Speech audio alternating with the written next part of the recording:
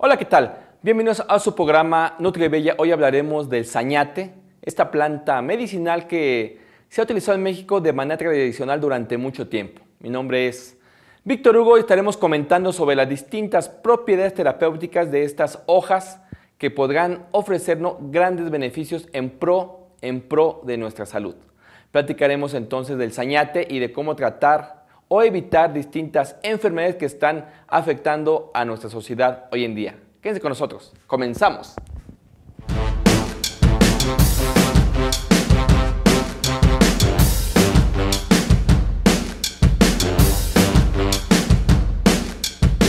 Belleza, sexualidad, ginecología y nutrición. Todo para tu armonía y salud familiar. Nutribella, belleza total, nutrición perfecta.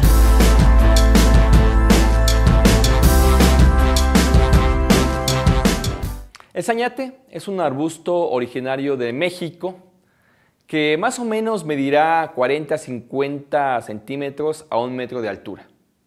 Es un arbusto muy ramificado que da unas flores pequeñas que pueden ser blancas o a veces un tanto rosadas. Esta planta se ha utilizado de manera tradicional durante mucho tiempo.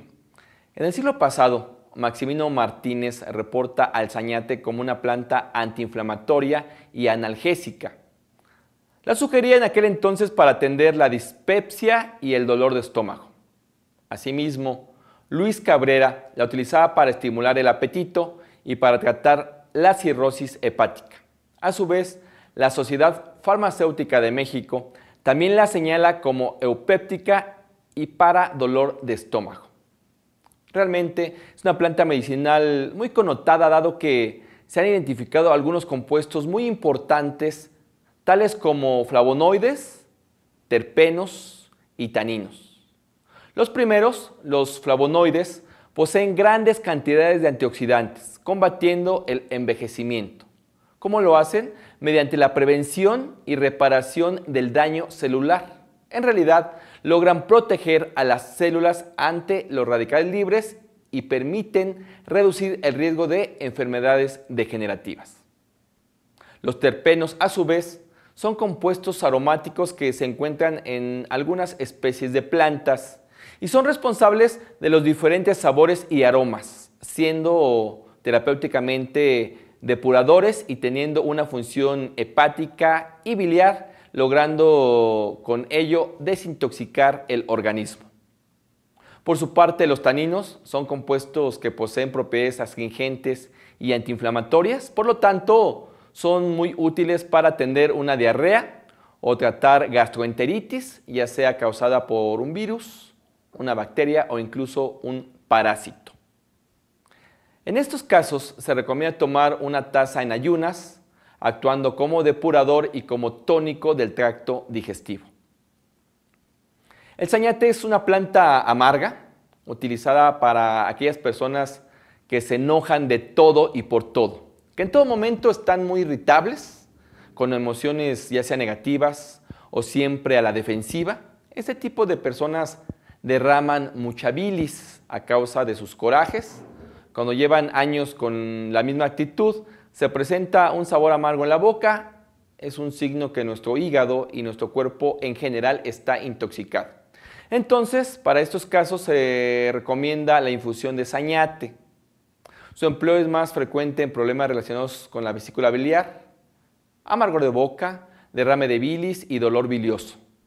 Por ello también es eficaz en diversas alteraciones del aparato digestivo, como por ejemplo inflamación estomacal, cuando se pierde peso sin aparente razón, para náuseas, vómito, reflujo, sobre todo para el dolor del estómago con cólico y retorcijón. También para casos de diarrea, donde se administra el cocimiento preparado con el polvo de sañate. La primera toma, la primera toma deberá ser en ayunas y después como agua de tiempo. Con ello también tratamos casos de disentería, cuando las personas ya están obrando con sangre, se toma todos los días. El sañate es una planta muy requerida en nuestra medicina tradicional, mejora y trata todos los problemas relacionados con la digestión, incluyendo el estreñimiento, dado que contiene un alto contenido de fibra. Vamos a seguir platicando del sañate y los grandes beneficios que aporta a nuestro organismo. Volvemos.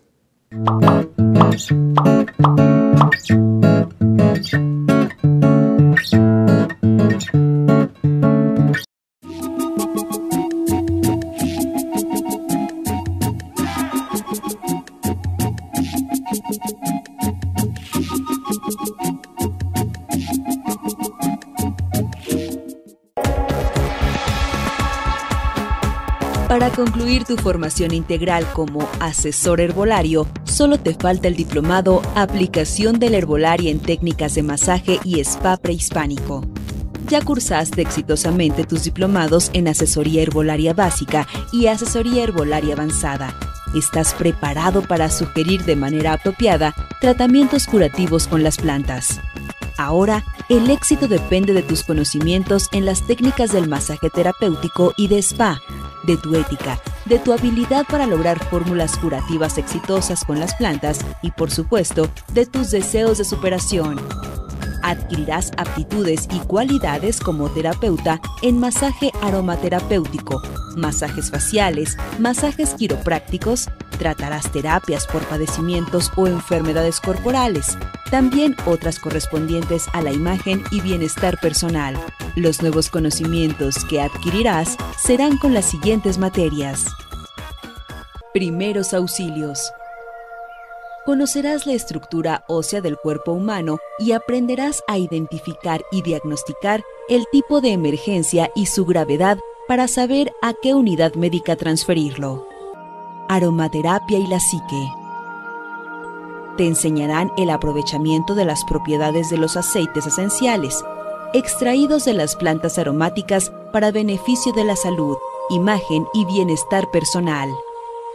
Identidad cultural la cosmovisión prehispánica de la salud nos brinda el conocimiento medular de la comunión con los reinos vegetal, animal, mineral y por supuesto con los seres humanos. Rituales prehispánicos. La integración espiritual es parte esencial de los rituales y ceremonias holísticas dentro de las tradiciones prehispánicas a través de temazcales calientes o compresas frías. Cosmetología natural. Aprenderás a restablecer el proceso de regeneración de la piel, desintoxicar, nutrir y embellecer la apariencia de la piel. Masajes terapéuticos.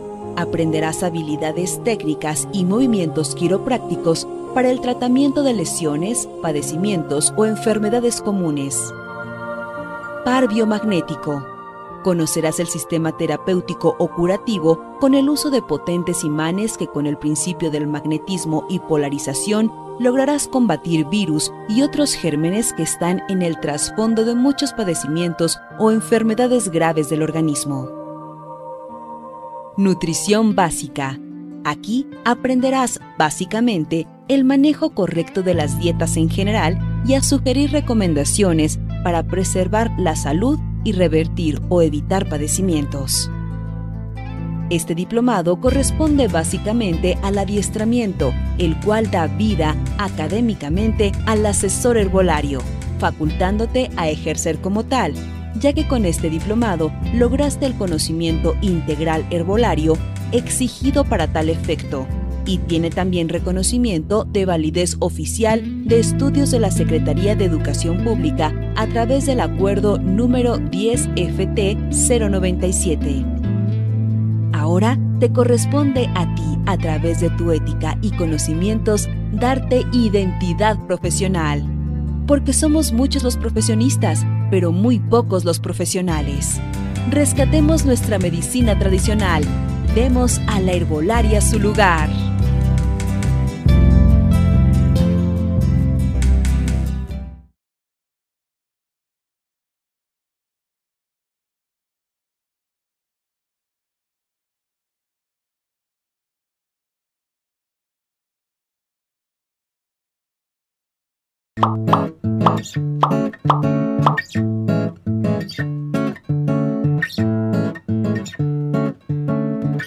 Estamos de regreso en su programa Nutri Bella y lo invitamos, lo invitamos a que nos siga a través de nuestras distintas redes sociales.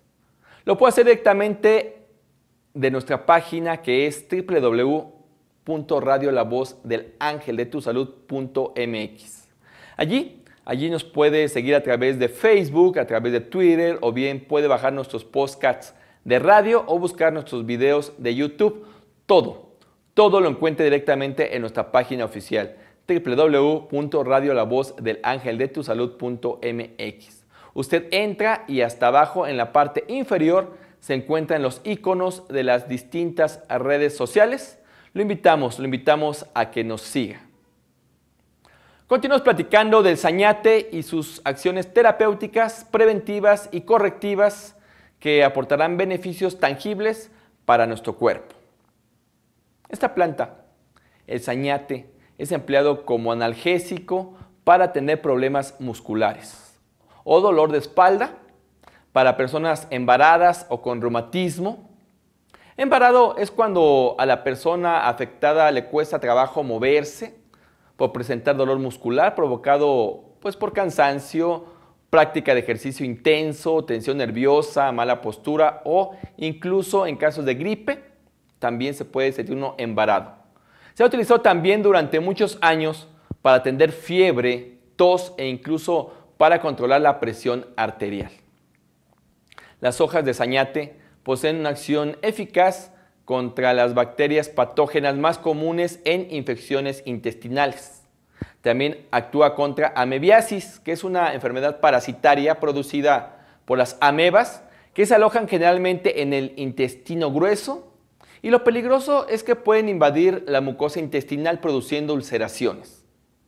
Este parásito se puede propagar a través del agua o los alimentos contaminados con heces, provocando síntomas como dolor abdominal, sangre en las heces, fatiga y pérdida de apetito. Esta planta la debemos utilizar para todas aquellas personas que no tienen vesícula biliar, que se las han estirpado Beber una taza diariamente de té de sañate en ayunas hará la función de la vesícula en nuestro organismo, mejorando notablemente todos, todos los procesos digestivos. Además, se administra para atender la diabetes, que realmente es una enfermedad metabólica donde el cuerpo no produce suficiente insulina o la produce sin la calidad requerida. La insulina, por su parte, es una hormona que genera el páncreas con el fin de regular los niveles de glucosa en sangre, los niveles de azúcar en sangre. Bien, cuando hay niveles altos de glucosa debemos administrar sañate, dado que es hipoglucemiante, depurador sanguíneo y también depurador hepático, que nos favorecerá bastante para tonificar todo el sistema endocrino, evitando pues, los característicos síntomas que incluyen demasiada sed, orina frecuente, sentirse cansado o perder peso sin razón alguna. Para ello vamos a sugerirle preparar para, preparar para beber un jugo para controlar la glucosa en sangre. Ingredientes. Vamos a requerir tres ramas de espinaca, dos tallos de apio, una manzana verde, tamaño pues mediana, y un pepino. El pepino puede ser opcional. Lo que sí no debe faltar es una cucharada cafetera de sañate en polvo. Se prepara muy fácilmente, tan solo debemos licuar todos los ingredientes en 300 mililitros de agua de manantial o de agua hervida para tomar dos veces al día.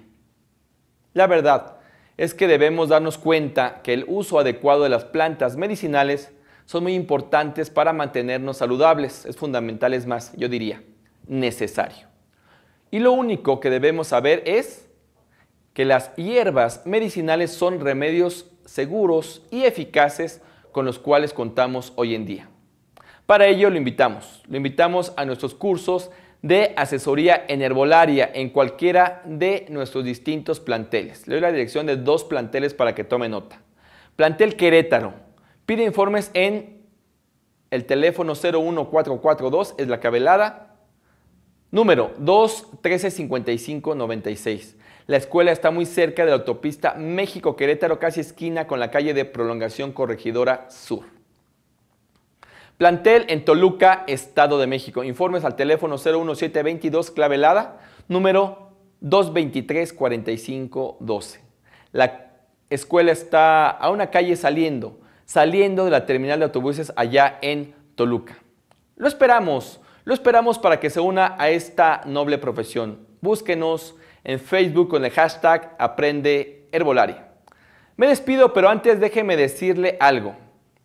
Estar saludable es simplemente la mejor manera de morir. Por favor, cuide su cuerpo, cuide su salud, cuídese usted. Mi nombre es Víctor Hugo, nos vemos muy pronto. Hasta la próxima.